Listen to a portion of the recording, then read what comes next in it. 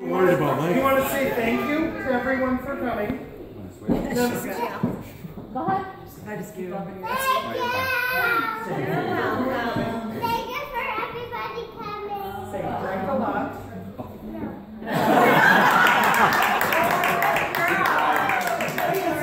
What she means is that there's a lot of extra food.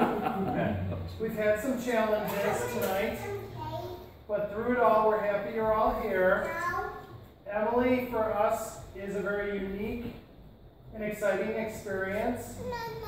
And so every year will be bigger and better, except for this year because our house is on the market. Thank you, Rulos, for listing it. By the way, it's six seventy-five.